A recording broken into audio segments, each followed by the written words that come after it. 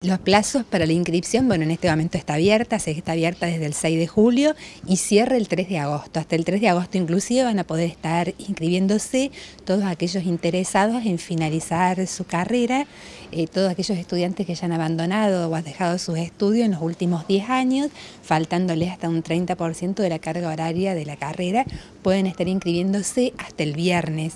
Eh, me parece que es importante recordarles y eh, hacer hincapié en que el viernes a las 13 horas en el aula magna